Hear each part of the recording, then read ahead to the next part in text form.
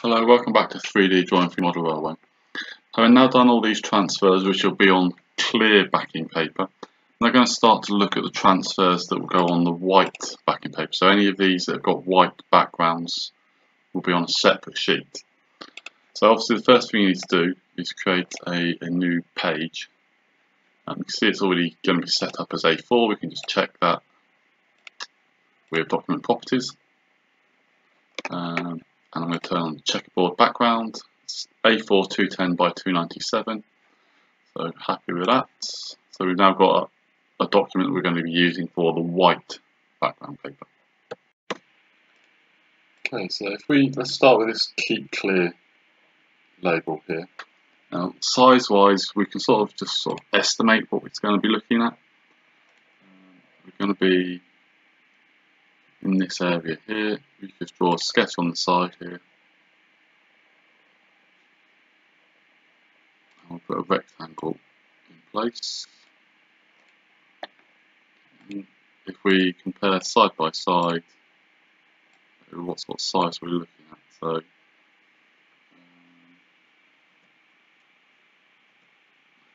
this, let's drag that point back to the left a little bit.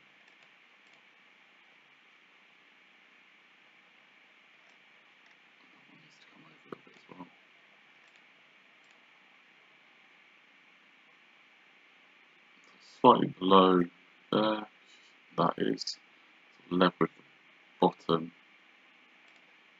of this. Yeah, I'm going to go with that size, so we're looking at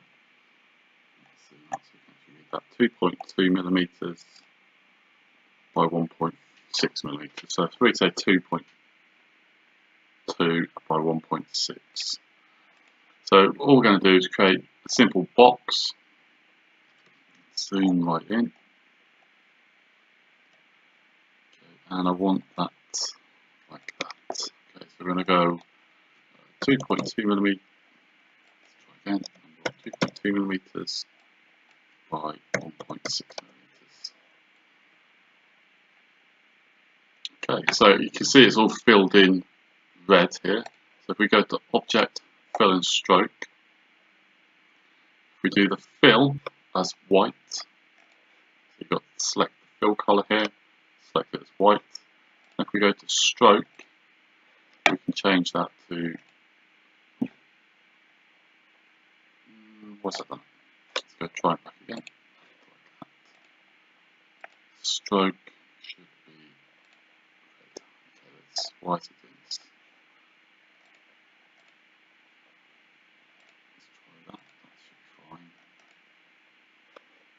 Let's right click on there. Set as stroke. Okay, so we've got that box now. Probably looking at that, the, the border might need to be a little bit thinner. So if we come back into here, stroke style, and change the width. Let's change that to just one millimeter rather than 1.2 to make that a little bit smaller. Okay, and then we'll put a text box in here.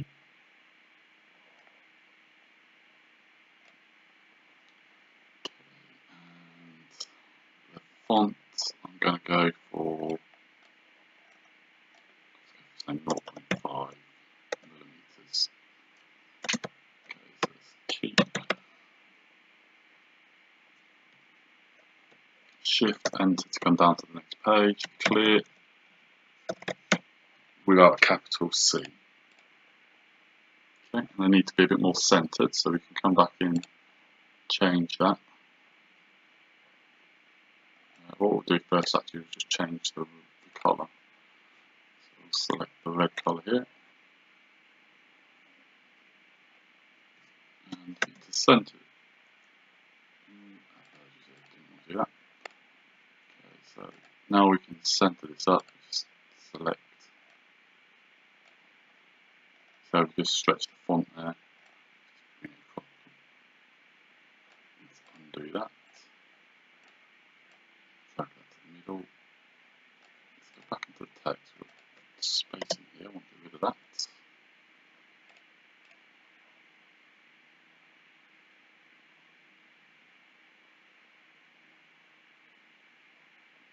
Looks.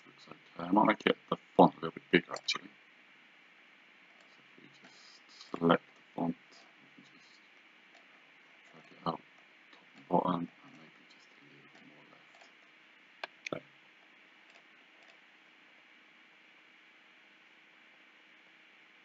Yep, happy with that as it is. Okay, so obviously we've got one, we need two of them on for each side, so Control C, so select it also, and Control C, Control V, and we should probably actually group that lot together, and then we can drag that without affecting one part or the other. Okay, so let's look at the next part to do. So, probably a little bit taller, and a little bit longer, it says crane swings keep well clear. So Again, same process. We'll drag the box out. So it was 1.6, so we'll say let's go for 2. We'll go for 4.5 to start with. Uh, object fill and stroke. Stroke, we're going to change that to white by clicking right click, set as stroke. Yeah. Set as fill, sorry, and then the stroke stroke color we want as red.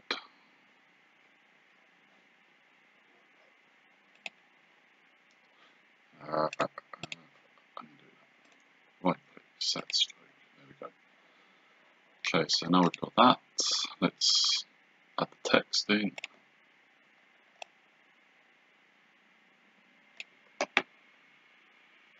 Okay, just to check, crane swings it's only the crane that's got capital C. So back into this.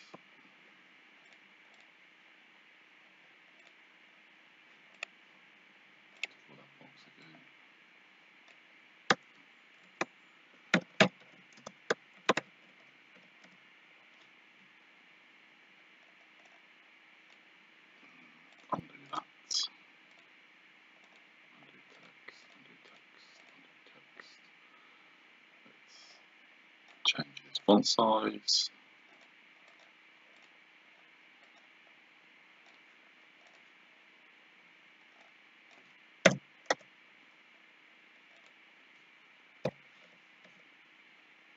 Shift enter to come to the next line.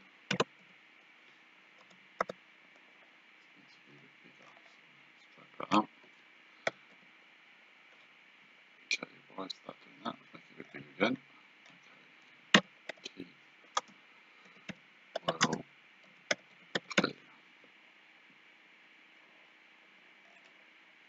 Okay, so let's select text, text and font,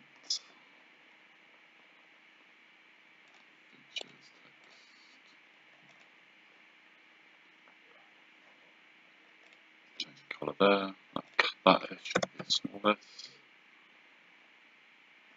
Okay, select text, let's drag it, now we can drag the box, that'll work. We might want to change the line space if we can. So we come back into text,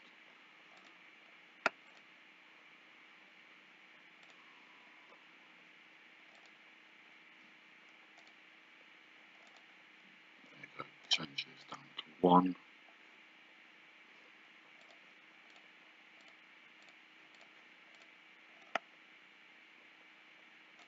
So you can see what I did there, selecting the in the text here to change this line spacing here.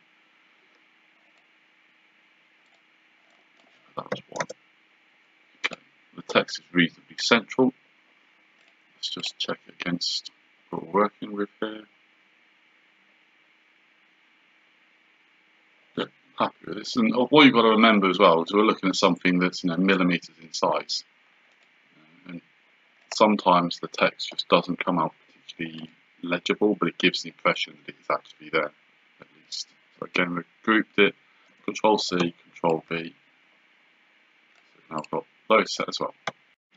Okay, so the next transfer I'm going to do is this one down the bottom here. So if we jump back into Inkscape, again, we're going to need another rectangle box. Height-wise, it's a little bit thinner probably than the Keep Clear one, but it's definitely much, much longer. So just jump back in here, get box, do a little bit thinner and a bit longer. So go for that. So we go for 1.4 millimeters in height, and let's go for 6.5 millimeters in length. okay, again, if we go fill and stroke, um, the stroke color, I'm going to use black because if you look at the the picture, it definitely doesn't look like a red border around here. But I'm going to put a black border on it so that it's easier to cut out. You can actually see where it, the outside edges of the, the rectangle would be. So if we select uh, set stroke to black and then set fill to white. Okay, let's close that and we'll have select the text box. Okay, let's make it bigger and longer. And the font size It always does that, never seems to sort of click in there properly. Let's go for 0.4 initially. 0.4 initially on the font size. So it reads Cowans, Sheldon and Co. Limited. All capitals as well, isn't it? All capitals. Cowans, Sheldon.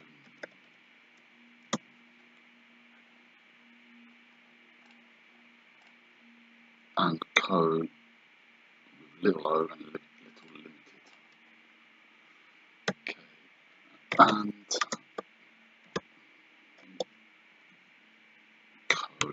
Now, how are we going to do that? I'm going to do a couple of spaces, anything that sits in between, full stops or anything, no. And then I'm going to put a L on there, come underneath. On the second line, it's 6 between the O and W, it's 7 between W and A.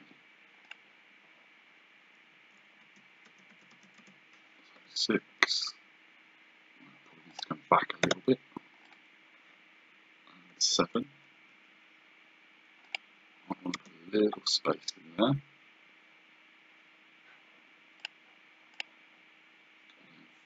The C looks like it's directly below the S for Carlisle.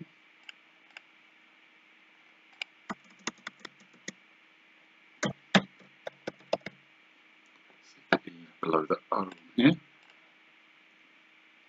It's a little bit longer. Not going to make too much out of that though. The one is below the and. One, nine, six, okay. Let's select all that and then change the font to red. Okay, so let's get another text box. Oops, let's store it here. It's going to be tiny little O, so we'll go for a font size of say 0.25. O, let's drag that down.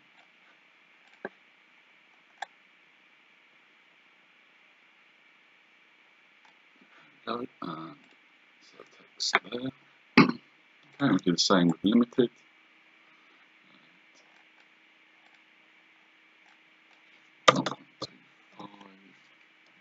Font size, and that's going to be TD.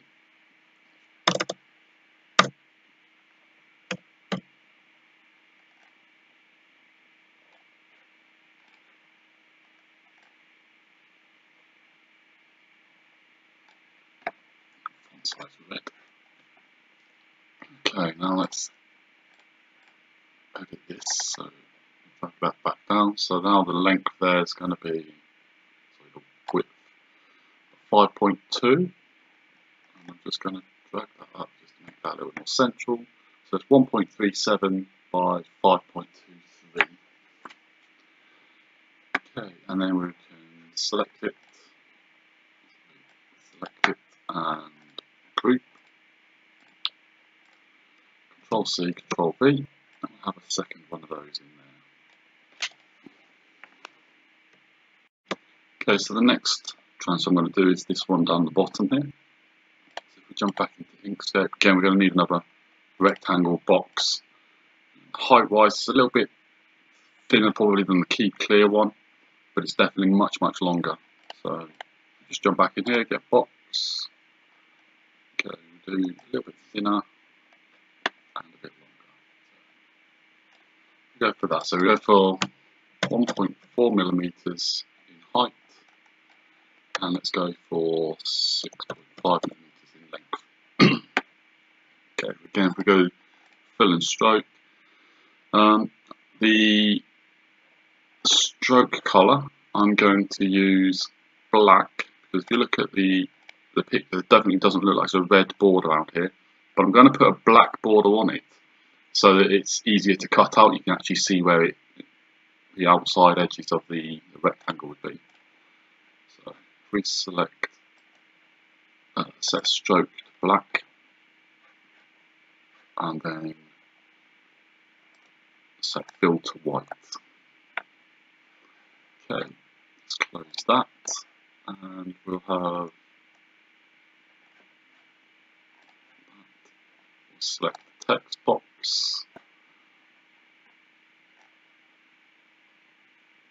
Okay, let's make it bigger and longer and the font size always does that, never seems to sort of click in there properly. Let's go for 0.4 initially. 0.4 initially on the font size. So it reads Cowans, Sheldon and Co Limited. It's all capitals as well, isn't it? All capitals. Cowan, Sheldon.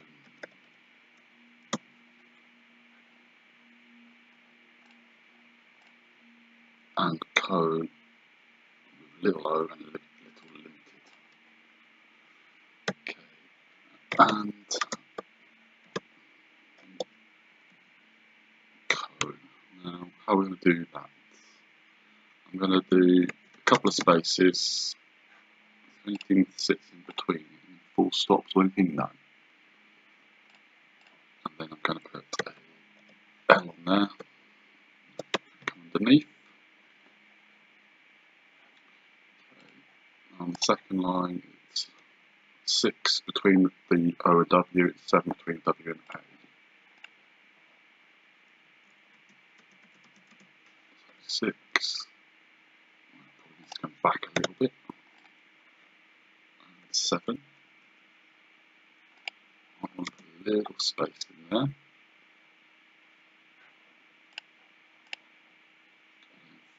The C looks like it's directly below the S for Carlisle.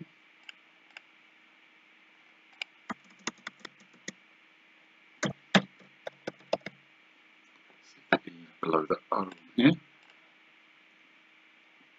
It's a little bit longer Not going to make too much out of that though. The one is below the and. One, nine, six, one. okay. Let's select all that and then change the font to red. Okay, so let's get another text box Oops let's store it here. It's going to be tiny little load, so we'll go for a font size of say 0.25. Oh, let's drag that down.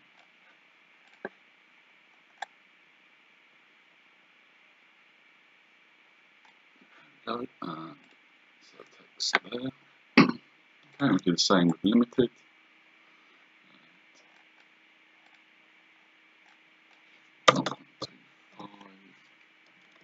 size, and that's going to be.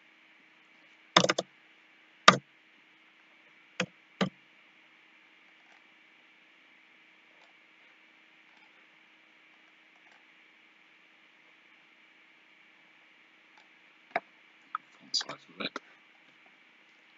Okay, now let's edit this. So drag that back down. So now the length there is going to be sorry, the width 5.2. And I'm just going to drag that up just to make that a little more central. So it's 1.37 by 5.23. Okay, and then we can select it, select it and group. Control C, Control V, and we'll have a second one of those in there. So here we go then, I found one on this zoo.co.uk. There's your, your web address at the top here, and that's the logo we're looking at. So we can right click, save image as, in fact, we do copy? Copy image, drag it into Inkscape, Control V, and massive. Okay, so we can reduce the size. So it says that in 4mm it's 8mm by 13.5. So obviously in N gauge we're just going to half that really. So it's going to be 4mm by 6.75. Back into here. So it the height to 6.75 and the width to 4mm. Even that looks quite large.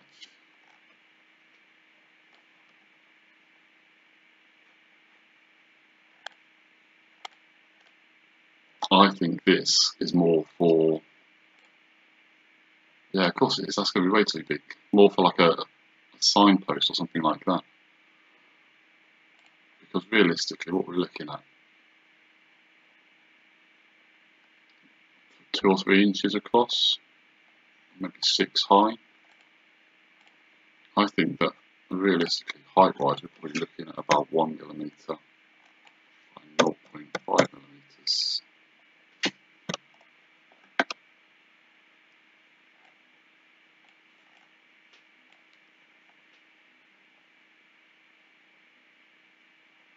Even that might be a little bit too high.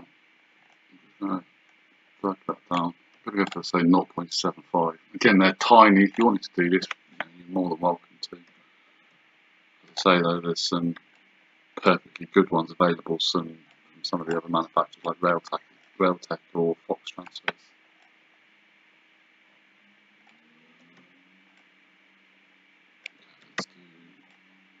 Four initially. Let's have a quick count how many people need. It'll be one, two, three,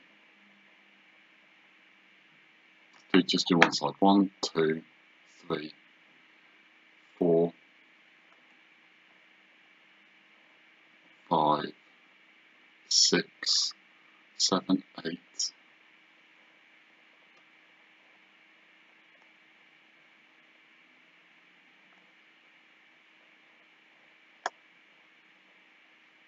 Some here. I'll on that one as well. Let's have a quick look at One, two, three, four, five, six, seven. I reckon if we do 15 of them, that should give us enough. That's over. Okay, and then select those five, control B, Oop. Uh, undo that, control B,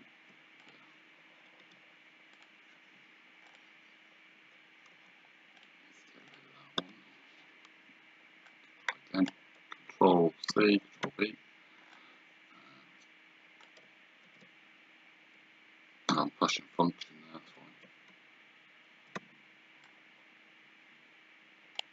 Okay, so those are 15 of those. Nice and easy to do.